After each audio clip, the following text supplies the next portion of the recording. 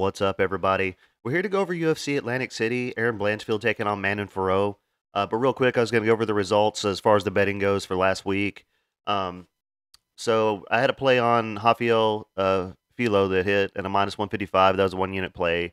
Um, then I had a two fight parlay that was Nzechukwu and Davis. It was minus 128. That was a one unit play. Um, so I just uh, I just lost my job last week, and uh, you know I was up. You know, uh, uh, Rafael Filo had won. Uh, Mike Davis had won his fight, and I I did went ahead and cashed out my my two fight parlay. I didn't really make any money on it, but I was able to at least get my money back because um, I just I couldn't afford to to take the risk. I wanted to get out while I you know get up while I was ahead or get out while I was ahead. Uh, so I went ahead and cashed it out early, and so I ended up coming up with some money there. But I also had um, I also had this hit, which really you know put me in put me in some good money. Um, this is a, a parlay where I went against you know most of my picks. I kind of this is like a worst case scenario parlay that uh, where I reversed some of the picks that I had, like uh, Christian Rodriguez. I had picked Dulgarian.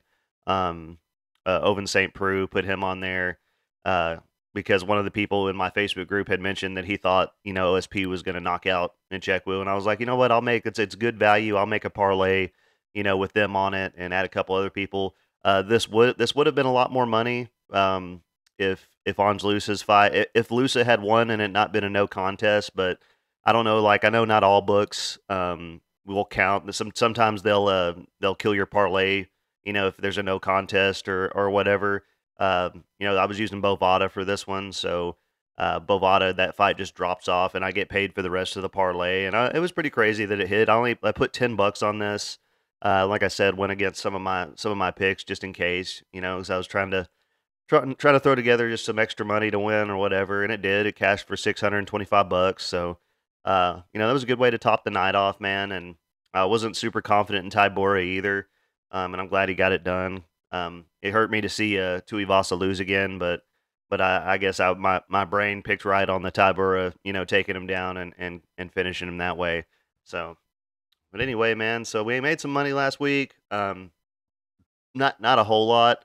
Uh, probably uh, somewhere a little over a unit profit. Uh, maybe maybe like twelve hundred bucks if I do the math right.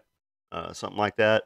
Um, but either way, let's get into this card, man, and uh, let's see what fights did we lose so far. Oh yeah, got to do my thing. Um, uh, first off, please like and subscribe, guys. It really helped me out a lot, and uh, thank you to all the new subscribers and, and everybody who's been who's been uh, popping up and, and commenting on my videos. I really appreciate all you guys, and uh, thank you for caring what I have to say.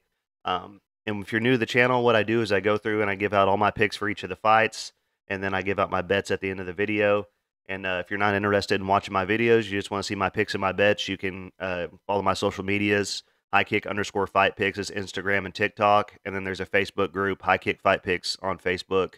Uh, and feel free to post all your bets, anything MMA related, post it in that group, man. Anything you want.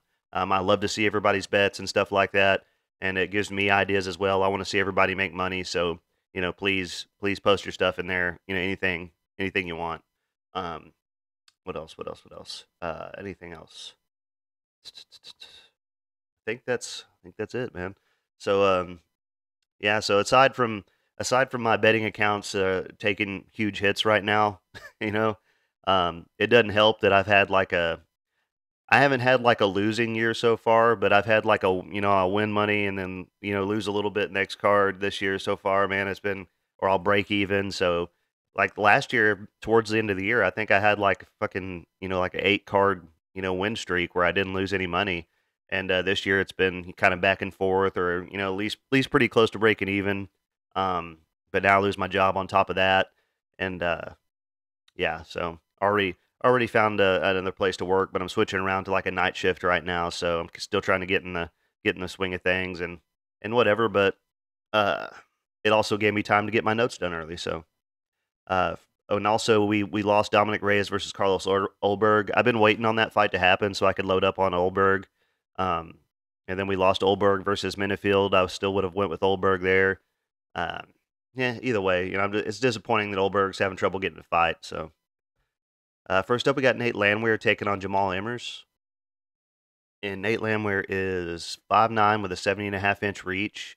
He is 17 and 5 and 4 and 3 in the UFC, and he's a plus 160 underdog. Uh, eight wins by knockout, two wins by submission. Uh, two two of his losses in the UFC have been by knockout.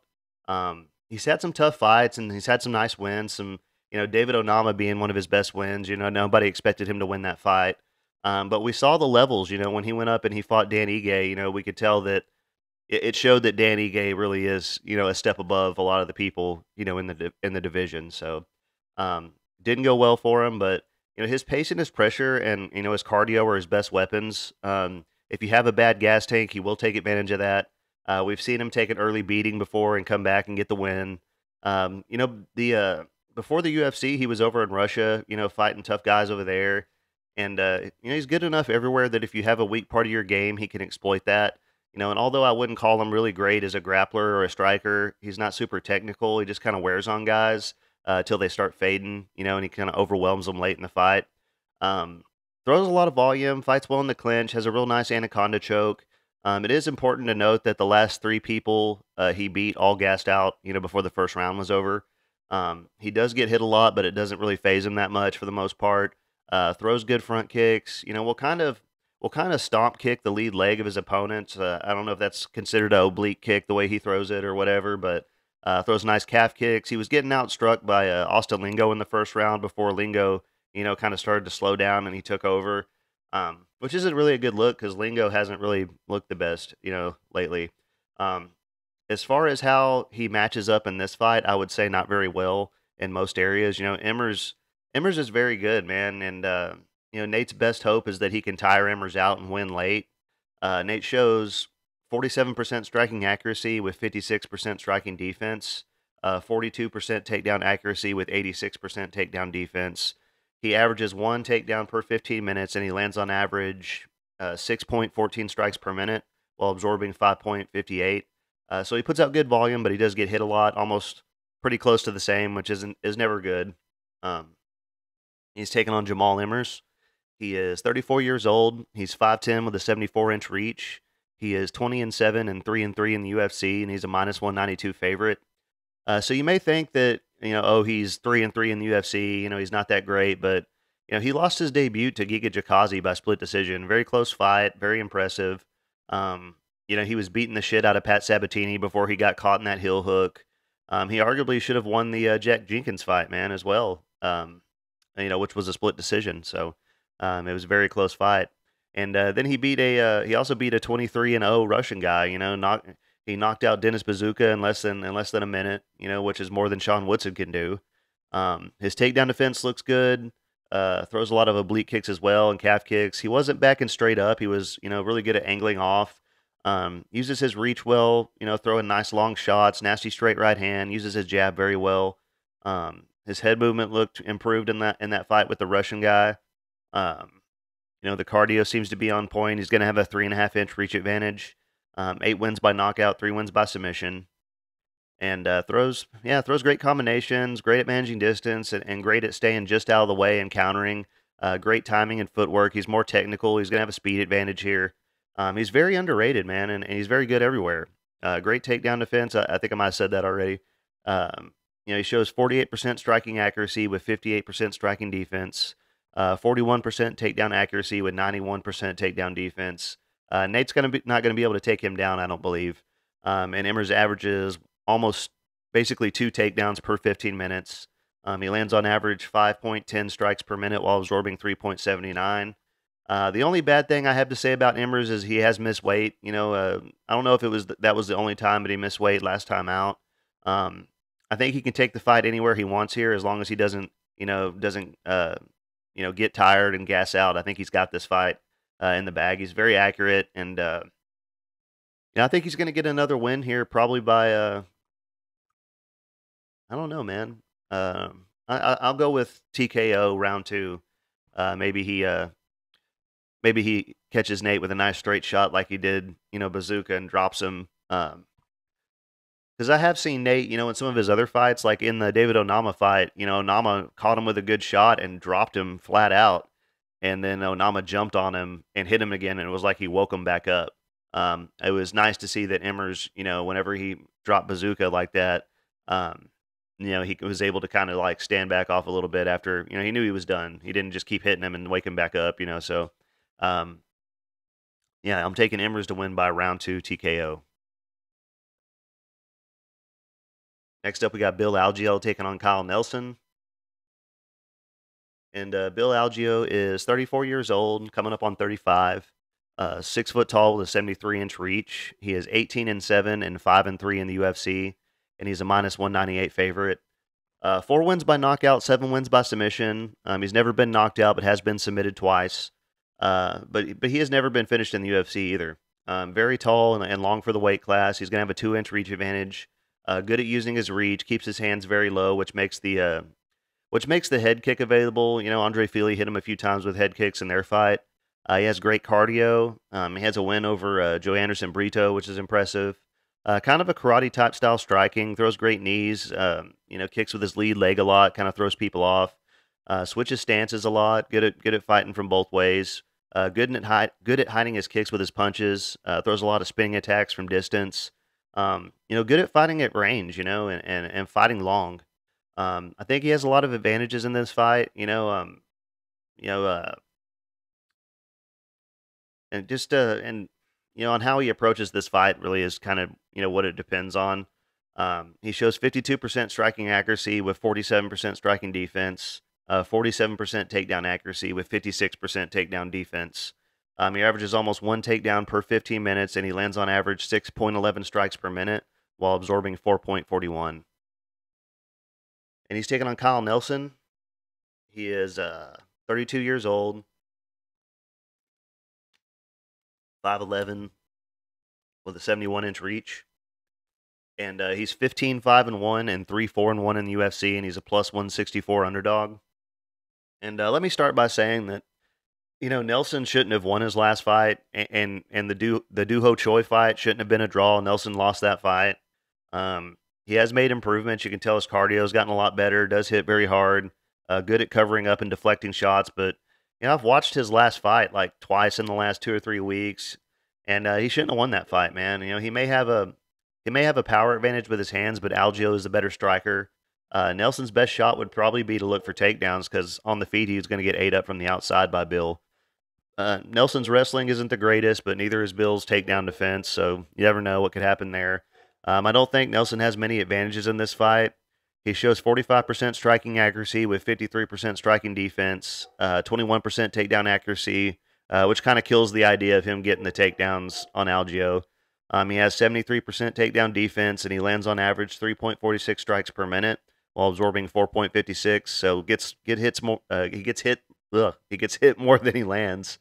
Uh, I'm taking Bill Algeo to win this fight.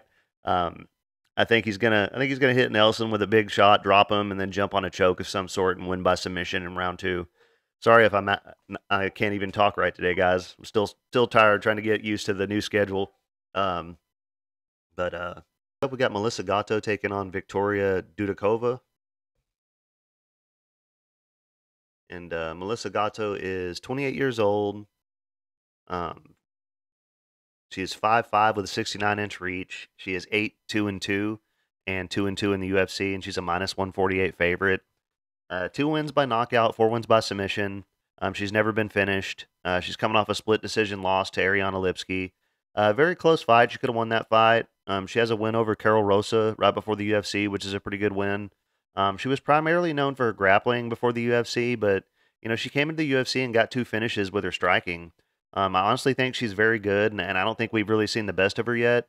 Uh, quick hands, strong in the clinch, you know, nice inside trips, very aggressive on the ground, um, throws up submission after submission, uh, very good jiu-jitsu. Uh, she has nice sweeps from the bottom. Uh, she has a good reach for the weight class. She's going to have a two-inch reach advantage. Uh, throws a nice jab, nice one-two. Uh, she broke Victoria Leonardo's arm with a with a kick in her debut. they never said that for sure that that's what caused it, but I saw the kick, and I'm pretty sure that that that uh, that's what that's what happened. So I, I consider that a uh, I consider that a win with striking in my book. Um, and then uh, then she stopped Sijara, uh, Sijara Eubanks with a body kick after that. So she has powerful kicks, man. And you know now Dudakova is coming up a weight class here, uh, probably because she missed weight in her last fight. Uh, so these are these two are the same height, but I'm willing to bet that Gatto is going to be the much bigger, stronger, you know, fighter muscle wise. Uh, Gatto does look very cut up and strong always, and uh, she has great shoulder pressure from from top position. Uh, Gatto shows 49% striking accuracy with 55% striking defense, uh, 21% takedown accuracy with 64% takedown defense, and uh, that's probably because she's not really scared to go to her, you know, go go to her back with a lot of people. Um, she averages 1.18 takedowns per 15 minutes, and she lands on average 3.98 strikes per minute while absorbing 3.13. Um, I think Gatto has a big advantage on the ground here. Um, as far as the striking, it could be pretty close. Dudakova looks like her striking is pretty sharp, but uh, uh, Dudakova is 25 years old. She is 5'5 with a 67 inch reach. She is 8 0 and 2 0 in the UFC. Uh, plus 124 underdog, two wins by knockout, four wins by submission. Uh, so in her debut, we didn't really get to see much because her opponent's arm got dislocated, you know, trying to post on the takedown. Uh, then in her second fight, she took on uh, Frey, who was on a three fight losing streak at the time, um, you know, and didn't really look all that impressive against her. Uh, she's undefeated, but hasn't really fought anybody I would consider, you know, good competition yet. Um, I guess her win on the contender series was over an 8 0 fighter, um, but, you know, not a UFC level 8 0 fighter. Uh, she seems well rounded, um, but Frey was stuffing the takedowns in her last fight, and uh, you know she was outlanding Frey, but it was a pretty close fight. And um, she does dip her head down a lot. I expect Gatto to be looking for looking for shots up the middle, like front kicks, knees, uppercuts, all that stuff. Uh, she seems to have nice power on her shots. She doesn't overthrow or swing wide. Um, everything's pretty straight and tight punches. Um, I would imagine that if that if uh, Frey could get her down, Gatto may have success in that area as well. Um, she looked a lot smaller than Jinh Frey in that fight, and Gatto's way bigger than Frey is, so I expect Dudakova to Kova to look pretty small uh, against against Gatto. Um, so yeah, Dudakova has great cardio, powerful kicks, fast punches, uh, goes to the body a lot. Uh, she may have the advantage in the striking if her skills follow her up a weight class, but uh, you know, not not enough fights yet for me to like go over her stats and and try to compare that. Um, out in the open, Gatto should, you know, just kind of slam kicks to the body, use her reach. Um, I would imagine Gatto will eventually get it to the ground. Uh, I was really hoping that Gatto would be the, you know, would be the underdog. It seems like the, the obvious thing sometimes for for people to, you know, want to put their money on the undefeated Russian. Uh, but I guess the, uh, I guess the the bookmakers are are hip to it, and uh, either way, I'm taking. I would be taking Gatto to get the win. Um, as far as a method of victory, either probably by late submission or decision. Um, I do think that she might be able to bully Dudakova around a little bit, get a few takedowns. Um, everyone on Tapology is going with Dudakova. Uh, I don't agree with that. So either way, I got Gatto. Uh, I'll, I'll go with by decision. Next, we got Ibo Aslan taking on Anton Turkalj. And uh, Aslan is 27 years old, coming up on 28. He's 6'3 with a 77 and a half inch reach. He is 12 and 1, and this is going to be his UFC debut. Uh, he's a minus 135 favorite. Um, all of his wins have been by knockout. Uh, his one loss is by submission. And uh, this is why you got to look into these fights, you know, whenever you're thinking about betting on things. Because uh, after looking into this fight, uh, the line does make sense now. I was wondering like how come Aslan's not you know a huge favorite or whatever. Uh, but Aslan's only loss was to the same guy he's fighting right now, Anton you know Turkalj. Um, I see why he's only a slight favorite. Um, obviously that obviously the the weak part of his game is um, you know his submission defense or whatever. He's a big knockout puncher and and Anton is only good with with with his grappling really. So uh, but aside from aside from Anton, who hasn't had any success in the UFC, the only good person that that Aslan has fought was the guy he beat on the Contender Series, um, who was way smaller than him. Uh, most of his wins have been in the first round, so I wonder about his cardio. Um, he's fought a lot of guys with losing records. Um, has two finishes via leg kick, which is he does have really nice leg kicks. Um, obviously, huge power. Uh, has good high kicks for a big guy. Um, you know, going back and watching the last time these guys fought three years ago, Um, Aslan was, you know, getting the better of the striking, uh, but he kept going into the clinch, you know, and then he took Anton down. He basically beat the crap out of Anton the whole first round, you know, except at the very end, Anton was able to get back to his feet and he landed a few shots. Um, second round, uh, he dropped Anton with the leg kick. Um, Aslan looked gassed, you know, let Anton back to his feet, and then Anton caught him off guard. I think I think uh, Aslan missed a kick or something and kind of had his back turned for a second, and Anton caught him off guard and ran up on him and got a takedown immediately and immediately locked in the choke. Kind of took the back with a trip and landed on the back and already had the choke in, you know, by the time he was on the ground. Um, and it's a tough fight to pick because of that, you know. I mean, Aslan was dominating the whole fight, but but had bad cardio and, and made one mistake, and Anton, you know, got him. Um, you know, you got to think that you know even even looking at like Anton's, you know, uh, like his his you know body in that fight, you know, he was kind of chubby, you know, kind of had a lot of fat on him and stuff like that. Didn't look anything like he looks now. Um, I'm sure he's made a ton of improvements since then. Since then, um, so it's really kind of hard to pick, man, because you know that that he's done it before, you know, and that's the weak part of Aslan's game. So, uh, and uh, Turkalj is 27 years old. He is 6'4 with a 78 inch reach. He's 8 and 3 and 0 and 3 in the UFC. And he's a uh, plus, plus 114 underdog. Uh, five wins by knockout, two wins by submission. Um, he was primarily known for his grappling and his wrestling. You know, had a very long amateur career as well. Uh, he's tough. He went to a decision with Vitor Petrino. Um, his striking isn't very good. Um, Aslan's going to have the advantage, you know, all the way there. But if Anton can get Aslan down and, and, be on top, he's way better than you know there all day. I don't think Aslan would be able to get back up. Um, he also has the better cardio. You know, if he can get the fight out of the first round, he has a great chance to win this fight. Um, he's fought the way tougher competition, has the UFC experience advantage, you know, half inch reach advantage as well. Um, his striking has gotten a lot better since the first time they fought, but I still think Aslan's going to have the advantage there. Um, I feel like I'm going to look stupid no matter which way I decide to go, you know, because if Anton wins, you know, everybody's going to say, duh, you know, he beat him before. And, and if Aslan wins, everybody's going to say, duh, Anton sucks. He hasn't gotten a win in the UFC. So um, I'm interested to see where this where this line goes after people start realizing that Anton beat this guy already. Um, you know, when when the when these guys come in, you know, from the contender series and they aren't they aren't complete fighters, you know, and say they have bad cardio or bad takedown defense or whatever, you know, they do tend to get exposed, man, and and this could be one of those times. Um, you know, I honestly don't know. You know, normally in a situation like this, I would say take the dog. Uh, let me know what you guys think, please, in the comments and everything. You know, give me your opinion because I'm really on the fence about this one. Um, and I don't know. I still haven't made, quite made a decision on this, man. Um,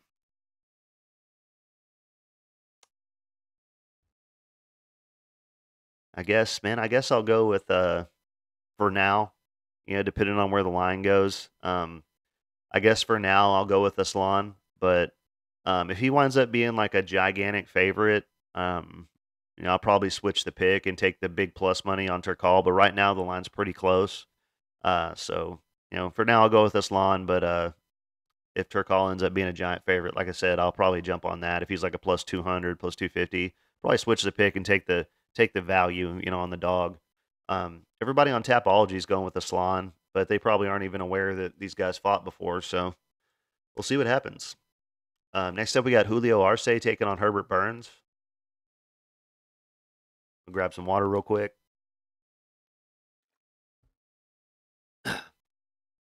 So uh, Julio Arce is 34 years old. He's 5'7 with a 70 inch reach. He is 18 and 6 and 5 and 4 in the UFC. And he's a minus 500 favorite. Uh, five wins by knockout, five wins by submission, uh, this guy beat Dan Ige in his debut, uh, knocked out Julian Erosa with a head kick, uh, went to split decision with Hakeem Dawodu. Um, he's only lost to really tough guys. So, I mean, what I'm saying is, you know, if anybody doesn't know, this guy's, you know, he's with the shit, man. He's tough for sure. You know, um, he's no joke. You know, at, at, any weight class, he is going up a weight class here. Um, he had a very close fight with Montel Jackson last time out. You know, as a big underdog. Um, he's only been finished once in the UFC, and it was by Song Yadong.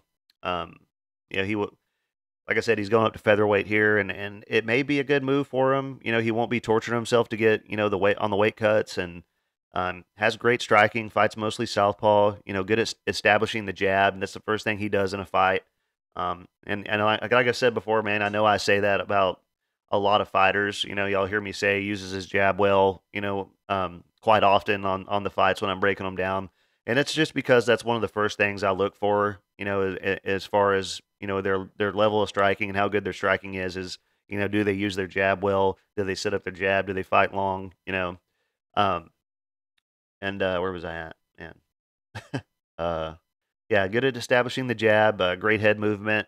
Um, I like how in the uh, in the Santos fight he was avoiding most of the shots, even when he was backing up against the cage, and and he was kind of getting unloaded on, but he was like avoiding them all, covering up, moving his head out the way, and then he would just start popping Santos with that jab, and you know doubling up the jab, tripling it up, using great footwork, and and he would throw the straight left and come over the top with the kick. You know, um, really kind of hides the kick. You know when he throws the left in front of it like that, um, throws a ni- throws nice straight shots. Uh, he knows when to uh, he knows when to put power on his shots as well. You know, he doesn't throw everything at full force. Uh, great counter striking, great front kicks to the liver. Um, on the feet, he has the advantages all day here. Um, he has way better cardio as well, as uh, has, he has a lot of late finishes on his record, so the power carries over into the third. Um, he shows 36% striking accuracy with 68% striking defense, which is a, a good number there. Um, he shows 31% takedown accuracy with 95% takedown defense, uh, which is great since Burns Burns is going to look to take him down. That's what Burns does. Um, and uh, and Arce lands on average 4.38 strikes per minute while absorbing 3.10. And he's uh, he's taking on Herbert Burns. He is 36 years old. He is 5'9 with a 74 inch reach. He is 11 and 4 and 2 and 2 in the UFC. And he's a plus 380 underdog. Uh, one win by knockout, eight wins by submission. Uh, has never been submitted himself. And uh, he's been finished in his last two fights, and I, I can't believe he's still in the UFC after that embarrassing performance he had last time out. Um, completely gassed out, was just laying there on his back, you know, too exhausted to fight. Um, you know, he does have the have great grappling, high level jiu-jitsu for sure. Um, he will be the bigger fighter here, a few inches taller. Uh, he's going to have a four inch reach advantage. Uh, but you know, he he has less than one round of cardio. You know, we've seen it. We've seen it a few times. Um, I don't see how anyone could put money on him. You know, after after his last performance. Um, he is very aggressive off of his back. He constantly attacks submissions. Um, he hasn't fought in close to two years, and I don't think that's going to help his cardio either. Um, as long as Arce pays attention and doesn't make any mistakes, doesn't follow Burns to the ground, he should win this fight. Um, Arce hasn't been submitted since 2016, so uh, Burns shows 51% striking accuracy with 31% striking defense, uh, which is yeah, which is uh you know one of the worst I've seen as far as the striking defense goes. Um, 75% takedown accuracy with 60% takedown defense. Um, he averages almost four takedowns per 15 minutes, uh, but Arce has 95% takedown defense. So, uh, and Burns lands only um, he lands on average only 1.61 strikes per minute while absorbing 4.74, which is really bad. Uh, gets hit like you know over twice the amount that he lands. Um, I'm taking Arce to win this fight by TKO round two. I think he'll probably play it safe. You know, Burns might Burns might be really trying to get those takedowns early and, and tire himself out. Once he gets tired, Arce will start, you know, unloading on him, beating him up with that jab. Uh, probably go to the body with some shots and end up, you know, getting a TKO in the second round. Next up, we got Chidi Njokuani taking on Rhys McKee. So there are some factors that go into my decision on this fight uh, that I'll explain because uh, I know a lot of people are going to be like, "What the hell are you doing?" You know, but uh, um, Njokuani is 35 years old. He is 6'3 with an 80 inch reach. He is 22 and 10 and 2 and 3 in the UFC. He's a minus 218 favorite. Uh, 14 wins by knockout, one win by submission. Um, he's been knocked out five times and submitted three times, um, which is most of his most of his losses. Um, I like Chidi. I'm a fan. I've always wanted to see him do well. Um, but let's face it, man, he does have pretty bad cardio, and and he he has, he's a high level Muay Thai striker, great with his elbows and knees, very strong in the clinch, uh, very tall and long. He's going to have a two inch reach advantage, and uh, you know, Tapology, um, Tapology has this fight at middleweight, but on UFC.com it has it at welterweight. Uh, now, which weight class this is is a big factor in this fight to me because I could see McKee looking better up at 185, you know, because he's a big guy.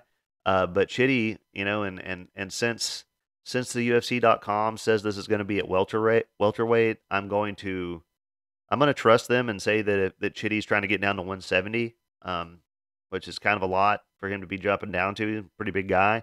Um, if Chitty was gassing out at 185 pounds and less than a round, then how do you think he's going to do after cutting an extra 15 pounds? That's just my opinion, which I wish I really knew for sure. For sure, I'm just going. I'm going to go with what UFC.com says in my in my decision. Um, I know Chidi is the better striker, may even have a power advantage. At least he did at 185. Um, he's facing a guy here who is close to the same size as him. You know, Chidi is an amazing, amazing fighter, but you know his fights tend to go one of three ways: either he gets a quick knockout early, um, or he he has a good start, then he then he fades and gets finished, or like we saw in the Duraev fight, he was so worried about the takedowns that he didn't do anything. Um, I mean, Chidi already looks like looks like he doesn't have any fat on him at all. You know, when he fights, I don't know where the extra 15 pounds is going to come from if he drops down. Um, he uses great teep kicks, fights very long, good at using his reach. Uh, so fast and accurate, man. Great kicks. Uh, really beats guys up from the outside with those. And and uh, his weaknesses have always been his takedown defense and submission awareness and defense. Um, in his last fight, he started strong and, and then got overwhelmed by the pressure of Oleksiejczuk.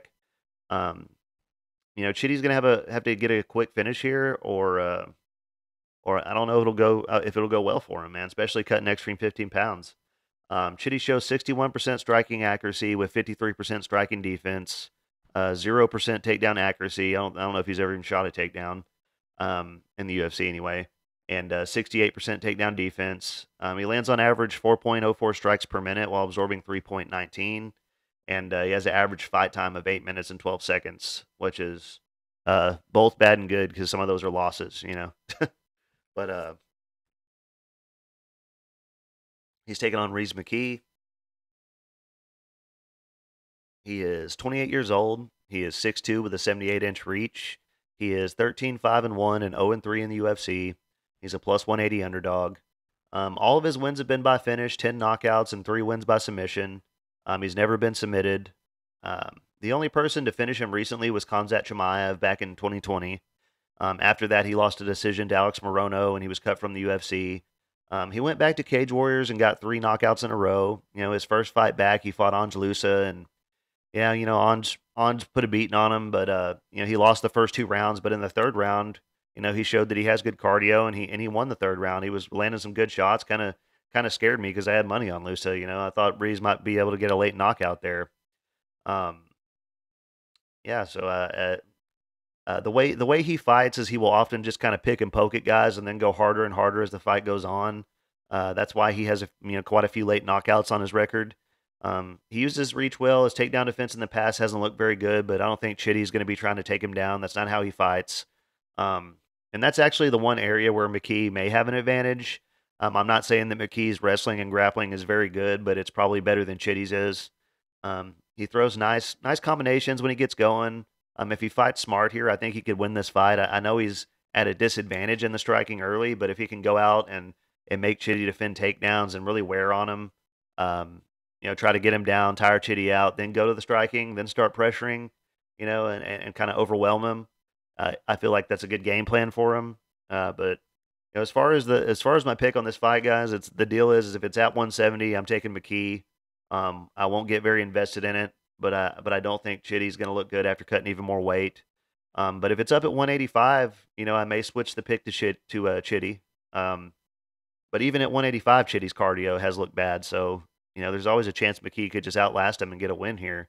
Um, you know, cutting less weight might benefit McKee even more if it's up at 185. So you just never know. But uh, since it says it, it's out welterweight on UFC.com, man, I'm going to take McKee to win this fight um, by third round third round knockout or maybe second round. Uh, and that's just not based on that's not based on McKee's skills as much as it it's based on Chidi's cardio. So, um, you know, I think Chidi's let me down three times in a row now.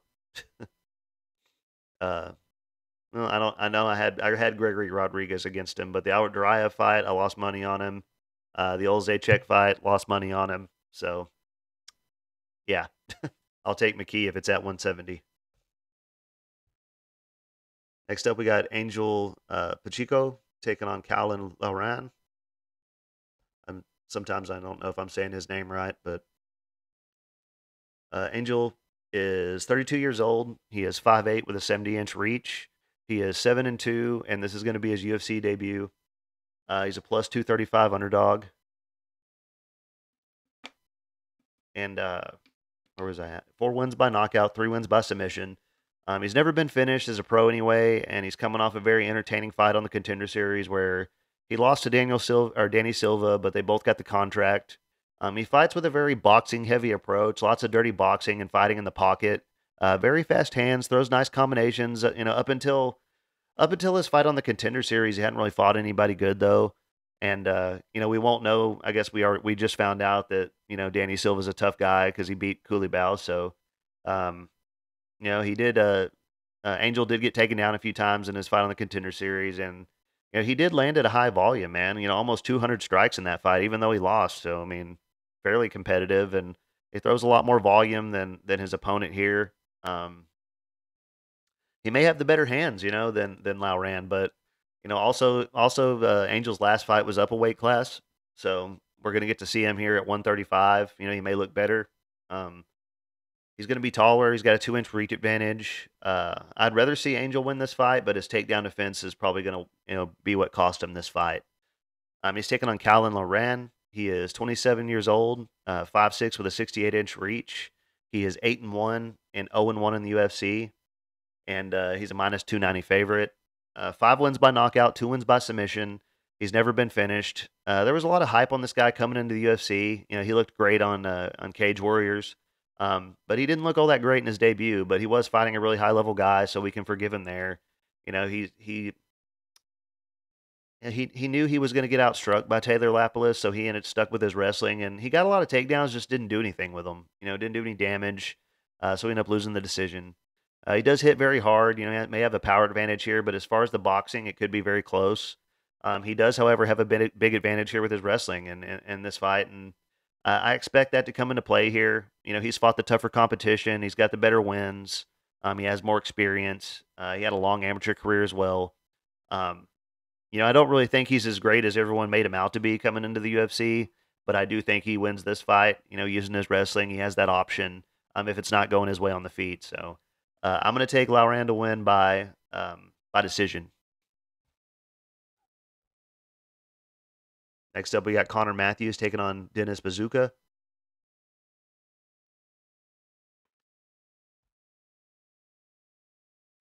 And Connor Matthews is 31 years old. He is 5'8 with a 71 inch reach. He is 7 and 1, and this is going to be his UFC debut. Uh, he's a slight underdog, plus 105. Um, one win by knockout, five wins by submission.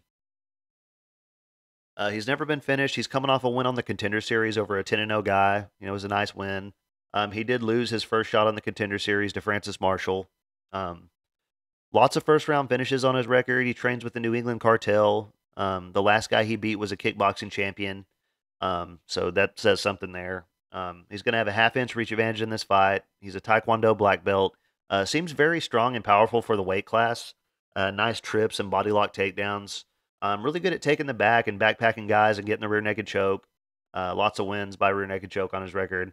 Um, he can definitely take a shot. He ate some shots in his last fight and kept coming. Uh, nice body kicks to the liver, good single legs. Uh, doesn't have the fastest striking, but he is good at seeing the openings, you know, when they're available and taking advantage of that.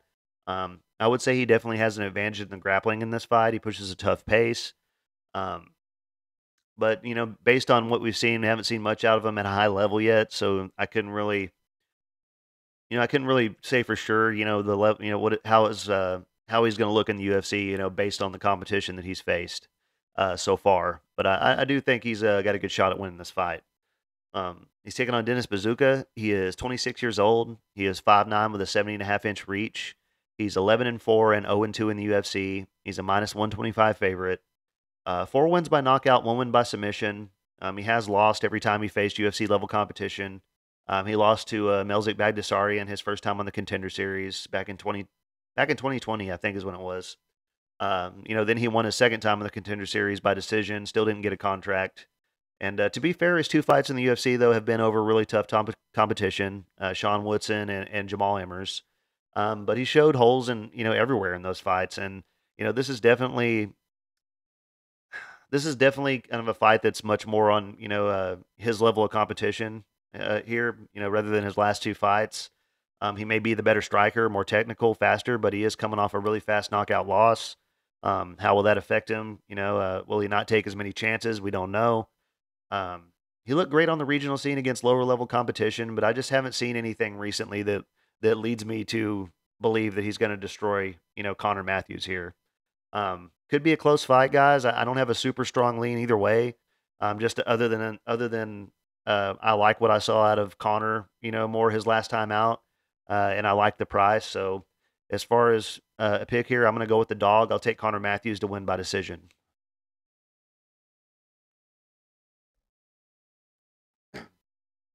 Next up, we got Andre Petroski taking on Jacob Malkoun.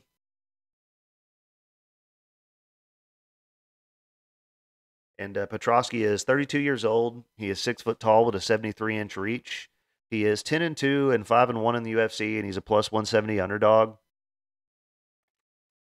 And uh, I was kind of hoping he would be a favorite on the betting line here because uh, he's a favorite on Tapology to win this fight. Uh, but he's not, so whatever. Um, I've never really been high on Petroski. Most of his wins in the UFC have been over haven't been over good competition, uh, or just or just haven't been that impressive. Like going to a split decision with Meerschaert, you know. Um, he's got good grappling, nice takedowns, great jiu-jitsu, but his striking is terrible, and you can you can always tell that he's really uncomfortable, you know, on the feet in the striking, especially against high level strikers. Um, he's taller, but these guys have the same reach, so no advantage there. Uh, both these guys are considered grapplers, man. That's how they fight. Uh, Petroski loads up way too much on his punches, swings very wide and huge hooks. You know, um, not very technical on the feet. Uh, does does uh, doesn't really have anything off of his back. We've seen in the past. Um, he has four wins by knockout, four wins by submission. Um, all of his losses have been by knockout uh, which isn't a good look. But uh, and I, I, don't really think his cardio is very good either. He seemed really tired in the third round against Gerald Meerschaert. Um, he just got knocked out super quick, you know, in his last fight by Michel Pereira. Uh, so you don't know how that's going to affect him either. Um, but he does show 52% striking accuracy with 52% striking defense, uh, 55% takedown accuracy with 71% takedown defense and uh, he averages 4.48 takedowns per 15 minutes, and he lands on average 3.61 strikes per minute while absorbing 3.03. And uh, he's taking on Jacob Malkoun. He is 28 years old, uh, 5'9 with a 73 inch reach. He is 7 and 3 and 3 and 3 in the UFC, and he's a minus 205 favorite. Uh, he has two wins by knockout, never won or lost a fight by submission. Um, he has some boxing uh, in, in, his background, but I believe he was uh, I think he, at one point he was Robert Whitaker's wrestling or jiu-jitsu coach at one point. Um, he has amazing wrestling, gets everybody down. Not a lot of finishes though. Uh, he doesn't really go for submissions like that. He kind of chooses the. Uh, he's more of a position over submission type of guy, you know. Um, but a lot of people thought he won the Brendan Allen fight, you know, and, and even I did. And I thought, you know, he I thought he was going to win that decision. Um, and he was destroying Cody Brundage last time out, you know, before he got disqualified for an illegal shot. You know, um, stuff like that's been happening a lot lately. You know, people losing, been able to find their way out of fights, um, and and he cost everybody a lot of money with that. Um, but uh, he is kind of short for the weight class. I do think he has the better striking than Petroski does, uh, since he does have a little bit of boxing in his background. Um, he likes to punch his way into the into the clinch and grab the body lock, get the takedowns. Uh, doesn't really go for double legs that much, but will grab a single and get the trip. Um, it is possible that since both these guys fight the same way, it may cancel each other out and it may play out on the feet. Um, Jacob has great sweeps, uh, good at using his uh, butterfly guard to, to, to get back on his feet. Uh, great ground and pound. He's going to have the cardio advantage for sure. Uh, Petroski has the power advantage in the striking, but Malkoun has you know the the better, faster hands in my opinion. Um, and it's close on the ground, man. But most likely the cardio will you know prevail in my opinion for for Malkoun. Um, you know, he shows 57% uh, striking accuracy with 51% striking defense, uh, 44% takedown accuracy. Uh, they don't have his takedown defense listed on UFC.com. I don't know if that's because he's never been taken down or because no one's tried to take him down. Um, and he uh, he averages 7.20 takedowns per 15 minutes. It's a lot.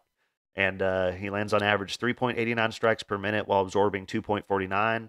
Um, could throw more volume, but doesn't get hit, you know, all that much. Uh, I'm going to be taking Malkoun to win this fight by decision, possibly a late finish on a on a gassed out Petroski, but uh, uh, for now I'll be going with uh, with a decision. Next up, we got Nursultan Ruziboev. Rizboyev. I think that's how you say it right. uh, Nursultan Rezboyev taking on Cedriques Dumas.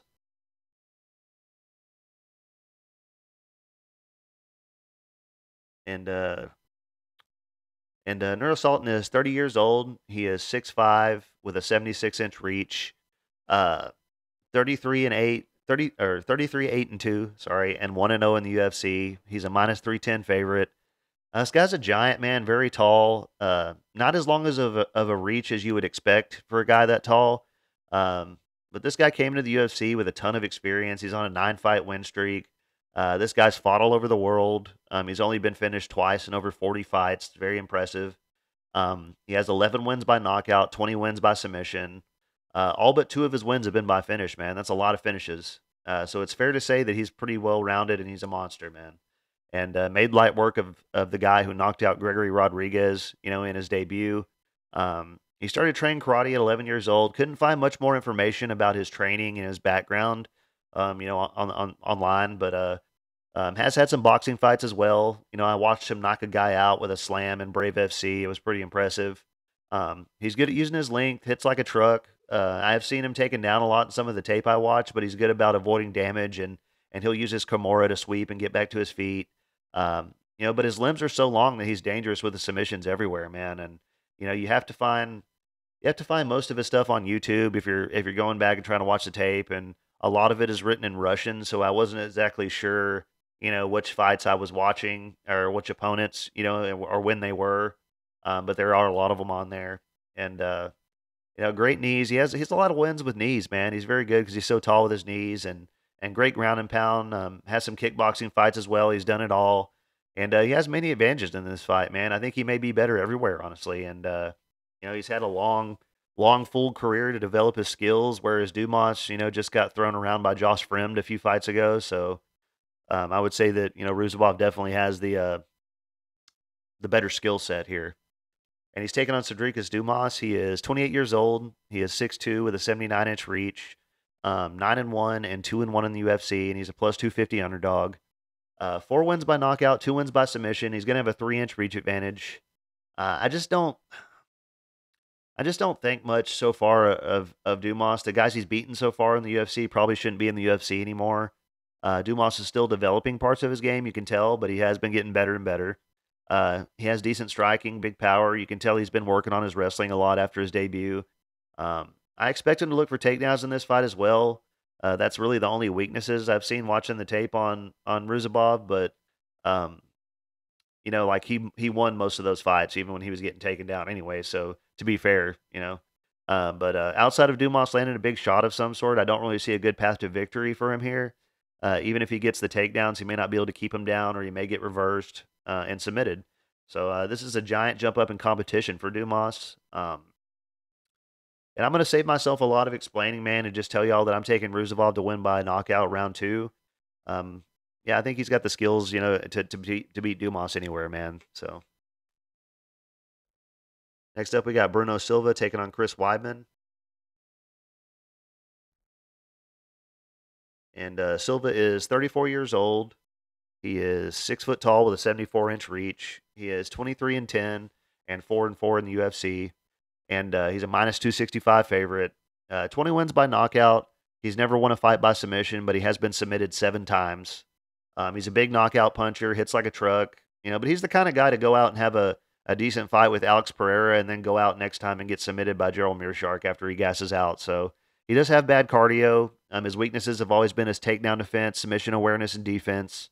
Um, he did show a little bit of his wrestling in his last fight, but his opponent had terrible takedown defense. So I'm not really sure if his wrestling improved or if, you know, that guy's takedown defense was just trash.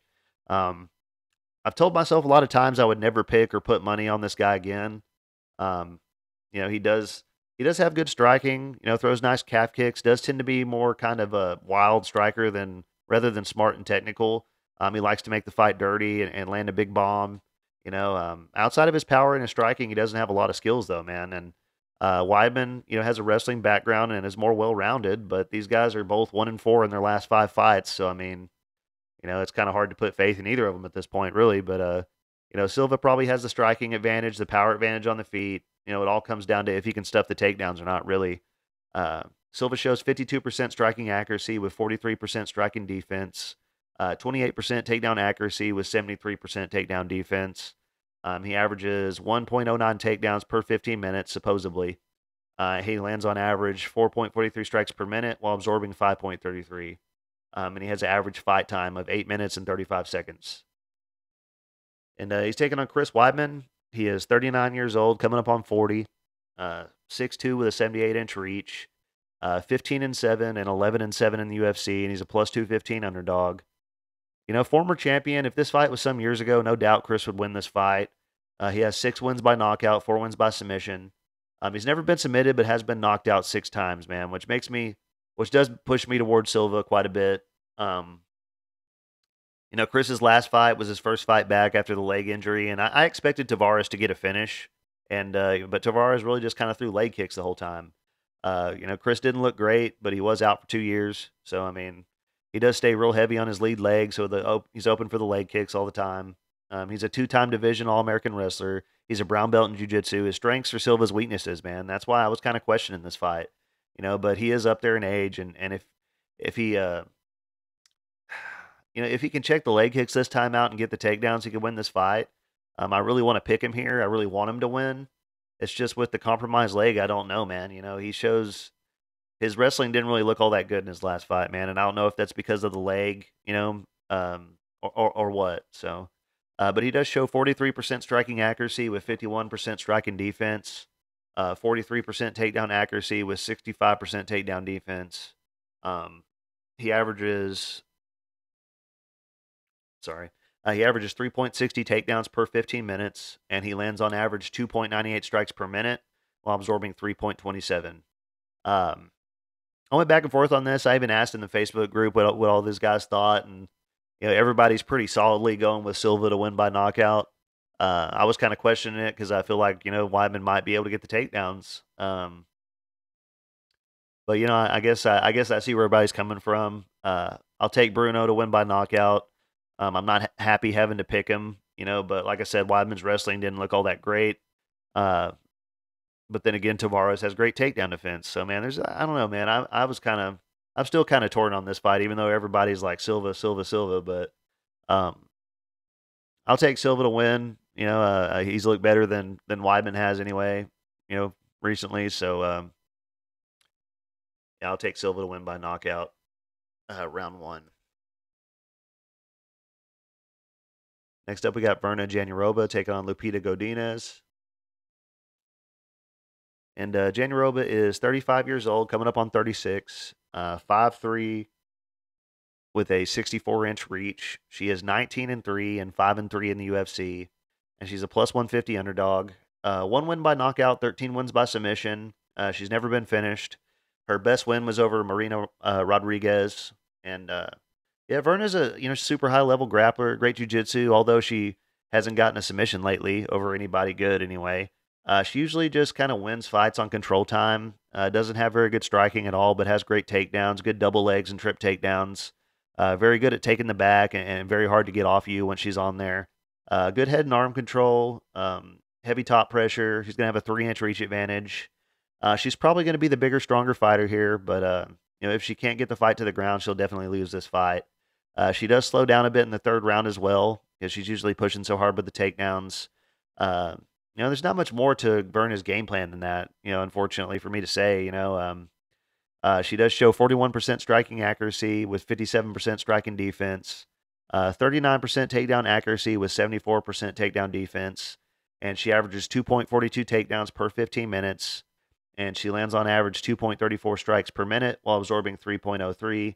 Um, you know, gets hit gets hit more than she lands and doesn't land very much because she doesn't have that great striking. So.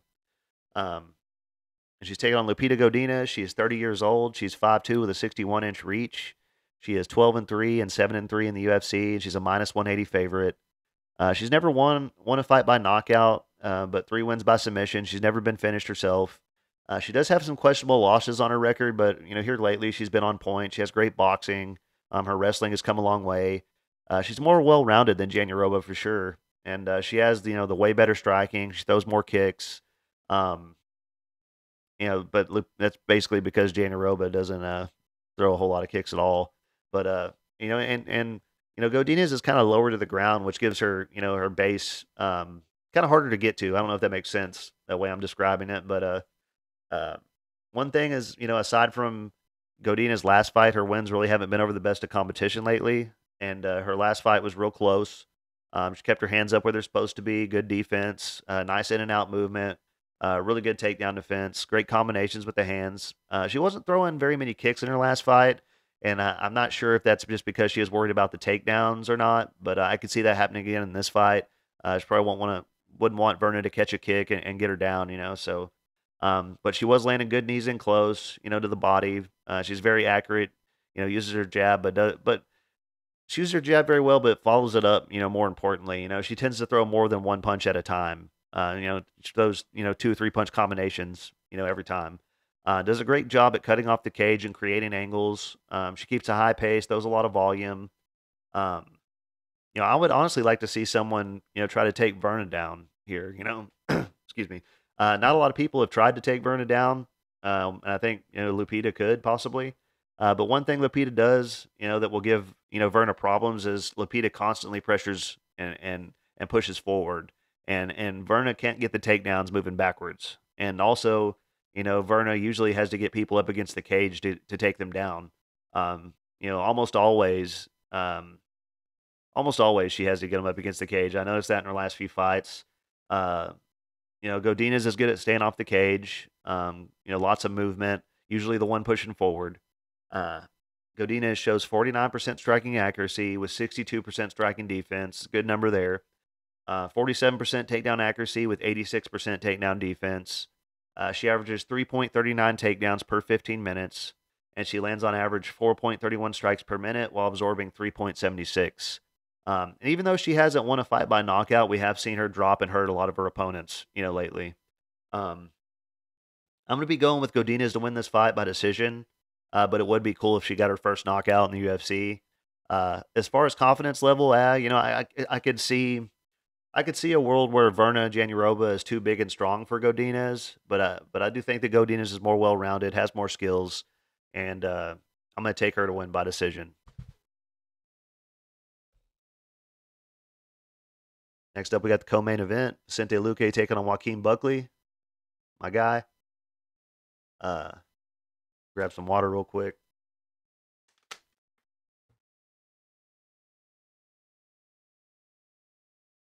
So uh, Vicente Luque is 32 years old. He is 5'11 with a 76 inch reach. He is 22, 9 and 1, and 15 and 5 in the UFC. And he's a minus 148 favorite. Uh, you know, I mean, for some reason, I thought Luque had been knocked out a few times in the UFC, but it's only been once. And, uh, you know, Luque is pretty well rounded. Um, has nice chokes, a lot of wins via D'Arce choke and Anaconda choke. Um, almost all of his wins in the UFC have been by finish, all but two of them. Um, has 11 wins by knockout, 8 wins by submission. Um, had a little trouble early in his last fight, but eventually took over and kind of used he kind of used RDA's style against him, you know. But I, am not surprised though, really, because you know RDA is kind of is a lightweight. You know, Luque was bigger and stronger, and and it showed. You know, not to mention that RDA has been around a long time. You know, um, you know, Luque shows great cardio, five round cardio. Uh, he throws a lot of great calf kicks, great Muay Thai striking, big power, very fast. Uh, this is a very interesting matchup, man. Um, you know, Buckley used to fight at 185, so I don't think Luque would be able to bully him in the clinch at all. Uh, Luque definitely has the more technical striking, but Buckley has looked better and better recently, man. And uh, Luque Luque's gotten a lot better at not getting into brawls and taking risk. Um, you know, in his takedown defense, although it looked better in his last fight, is one of the weaker parts of his game. Um, you know, saw that in the Belal Muhammad fight. Um, Luque shows 53% striking accuracy with 52% striking defense, uh, 61% takedown accuracy with 63% takedown defense. Uh, he averages one takedown per 15 minutes, and he lands and absorbs about the same amount of strikes per minute at 5.17 and 5.15. Uh, so he does get hit quite a bit. Uh, he's taking on Joaquin Buckley, he is 29 years old, almost 30 now, uh, 5'10 with a 76 inch reach, uh, 17 and 6 and 7 and 4 in the UFC, and he's a plus 124 underdog. Uh, 12 wins by knockout. He's never won or lost a fight by submission, uh, but he has been knocked out a couple times. Uh, Buckley definitely has the advantage with the raw power on his punches, no doubt. Um, and he's looked great down at 170, man. He's looked better and better, you know, every time we've seen him, and um, looked better than ever in his last fight, man. And he's very fast and explosive. I could see Luque having trouble with that in this fight. Um, he uses a lot of movement. He stays circling, very powerful kicks, fights southpaw. Um, his head movement looked a lot better in the last fight. Uh, his takedowns were on point, great double legs. His cardio looked great, uh, really good cardio, as a matter of fact. And uh, you know, sometimes the way he blitzes in with his hooks and his head movement kind of reminds me of Mike Tyson a lot. Uh, I'm not saying that he's quite as good as Mike Tyson was back in the day, but it's still very impressive, and I still, you know, it's really cool to see somebody using that style in MMA. And uh, I like the plus money on him as well, you know, here, man. And uh, he will need to be a little bit more careful when he's blitzing in on Luque because Luque is very accurate. Um, he needs to go out and, and create the angles, draw out Luque's punches with feints, and, and counter with his big shots. And you know, Buckley went harder and harder through the whole fight last time out and was really pouring it on in, in the third round. And, and yeah, man, I love that. And it looked great. And, uh, you know, when he threw that, uh, when he threw that kick and he fell and Morono jumped on, on top of him, Buckley just kind of chunked him off and got back up, you know, um, uh, you know, he's got nasty ground and pound. And I can tell that, uh, I can tell that his numbers on the website aren't quite up to date, but, uh, you know, they're not, not impressive as they probably would be, but you know, I'm sure they're not much better, but um, but uh, he shows 33% striking accuracy with 58% striking defense, so good defense. Uh, 37% takedown accuracy with 65% takedown defense. Um, he averages one and a half takedowns per 15 minutes, and he lands on average 3.87 strikes per minute while absorbing 3.31. So pretty close to the same there. Does does get hit about as much as he lands, but uh, I'm gonna be taking Buckley to win this fight. I like the plus money. Um, I like the way he looked in his last fight and uh, you know he's the younger guy here by a little bit. You know he's coming up in his prime, so I mean, uh, I'm going with Buckley, man. I'm taking one by knockout round two, and he'll probably go back and take a look at that Jeff Neal fight, man, and and and kind of look at how Jeff Neal was able to outbox Luque and get on the inside and stuff. So I like his odds here, man. I really do, and I'm hoping that the plus money just gets bigger and bigger on him. And next up, we got the main event, man. Uh, Erin Blanchfield taking on Manon Fiorot. Um, Blanchfield is 24 years old, coming up on 25. She is 5'4 with a 68 inch reach. She is 12 and 1 and 6 and 0 in the UFC. She's a minus 148 favorite. Uh, two wins by knockout, four wins by submission. Uh, the biggest key to this fight for me is that it's five rounds, and I think that helps Erin Blanchfield, you know, more so than it does Manon Fiorot. Uh, because Fiorot, you know, especially in her last fight, man, she did enough to win the first two rounds and then tried to run the whole third, and uh, she looked very tired. Um, you know, if that fight with Rose had been five rounds, I think Rose would have won that fight. Um, Erin has a big advantage with her with her wrestling and jiu-jitsu. Uh, she is certainly the best grappler that Fiorot has faced so far. Um, Erin has never been finished. Um, I don't see her getting knocked out here. You know, um, I think at some point she'll probably get the takedowns. Uh, but I could see Fiorot, you know, getting the first two rounds maybe, and and I think either way though, I mean, Erin will take over and win the last three rounds of the fight um, if she doesn't take over from the get go. Uh, but uh, Erin also has a two inch reach advantage. Um, Erin shows 53% striking accuracy with 62% striking defense, um, 36% takedown accuracy, um, and that probably hasn't been updated either, and uh, 83% takedown defense. Um, she averages almost three takedowns per 15 minutes. That's a good number. And she lands on average 5.58 strikes per minute while absorbing 3.32. Uh, that's decent there. And uh, She's taking on Manon Fiorot. She is 34 years old. She's 5'7 with a 66 inch reach. She is 11 and 1 and 6 and 0 in UFC as well. And she's a plus 124 underdog. Um, six wins by knockout. Never won or lost a fight by submission. Never been finished. Uh, she does have an advantage in the striking with her karate, you know, type style. Uh, she uses a lot of push kicks and and kicks with her lead leg a lot. You know that can throw people off. Uh, very accurate, but hasn't finished anybody in a long time and uh, she has good footwork, good head movement, uh, good at using, um, good at using her feints to set up her strikes. Likes to blitz in with big shots and duck back out of the pocket. Uh, the thing is, is she uses so much movement bouncing around the entire fight that she does slow down after the first two rounds. Uh, she's done it several times. Uh, the reason that I'm being so hard on her is that she look, you know, she hasn't looked like the big favorite that she is at times, especially in her last two fights. And uh, she does show 52% striking accuracy with 51% striking defense. uh, 31% takedown accuracy, doesn't shoot very often, with a 65% takedown defense. And it says she averages one takedown per 15 minutes, but I, I don't understand where that's coming from. Um, but uh, she lands on average 4.71 strikes per minute uh, while absorbing 3.36. Um, I do think Blanchfield will eventually take over this fight. Um, I think she'll pressure, pressure, try to get a hold of her, try to get her down. I think she'll eventually get the takedowns, and I think she'll outlast and, and definitely win the last three rounds and either win by decision or maybe a late submission. Um, as far as eh, I'll go with uh, with a fourth round, fourth round submission uh, win for Erin Blanchfield. And everybody on Tapology is going with Blanchfield as well. I'm surprised the line's as close as it is. It's a good price. Um, good price on her, man. And uh, that's it for my picks, guys. As far as my bets go, um, pull these up. Where is it? This one. As far as my bets go, we got this, man. It's uh, uh got to play on Jamal Emmers at minus 185. That's a one unit play. Um, I got to play on Blanchfield at minus 130. Uh, it's a half unit play.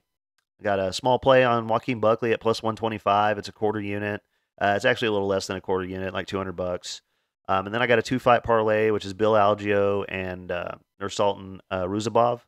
And uh, it's plus 110. That's a one unit play. And as far as parlays go, guys, I had to do something a little different this time because uh, Bovada doesn't have most of the fights on this card up yet.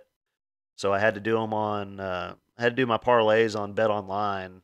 And uh, on Bet Online, for whatever reason, it's like the way they have it set up, I can't screenshot all the fighters at the same time like I normally do, like the whole parlay. So I have to do it in like two two sections. So I just wrote it all out. Um, but uh, first up, I had a four fight parlay, which is uh, Algeo, Emmers, Arce, and Ruziboev, and that's a plus 272.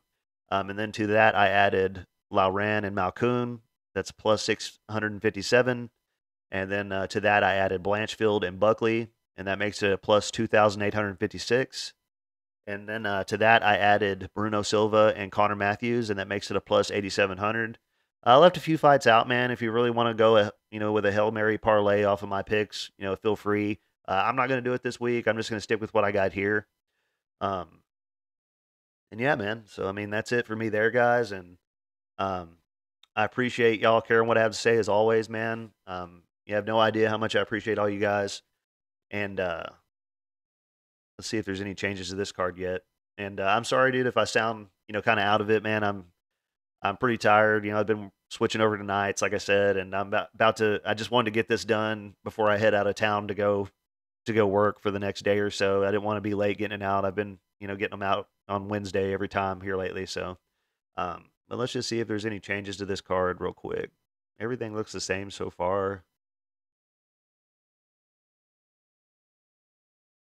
Yeah, I think everything's the same. I don't think we lost any fights or anything since I did the video. Um, but yeah, man. So thank you guys so much as always, man. I appreciate y'all, and uh, I hope y'all win some money, man. And uh, and uh, post your bets in my Facebook group, guys. I want to see them. Y'all have a good one, man. I'm out of here.